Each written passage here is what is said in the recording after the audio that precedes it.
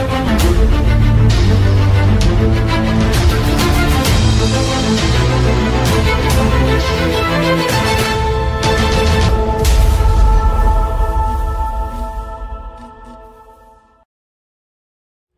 what's up, you guys? This is Tyler with Off Leash Canine Training, and right here with me is Wick. He is a six-month-old boxer pup. Um, really shy and timid. He was shaking when his owner dropped him off. I think his biggest problem is going to be working through that timidness.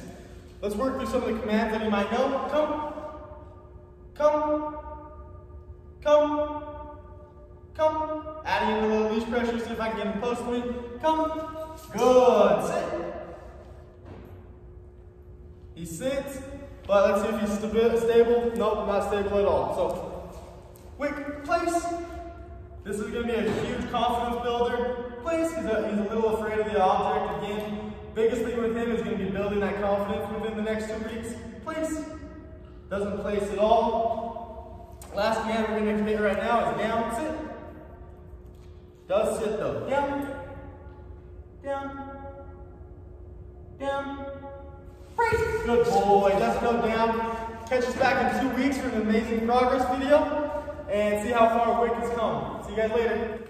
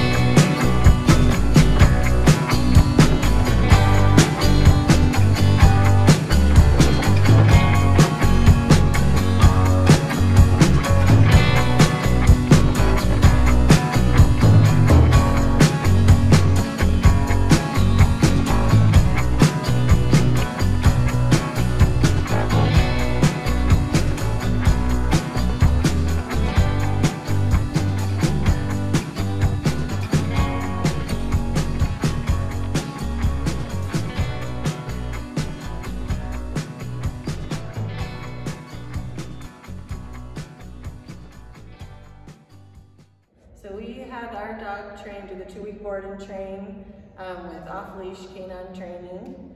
Um, we can't believe the dog we got back, it's night and day different. We can't believe it's our dog. He was had some pretty frustrating behaviors before we brought him in and he is listening so well now. It's gonna make his life and ours so much more enjoyable now that we've done this.